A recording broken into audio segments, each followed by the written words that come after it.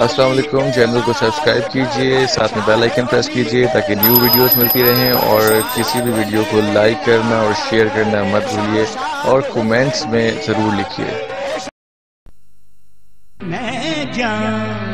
उठा रहा था तुम याद आ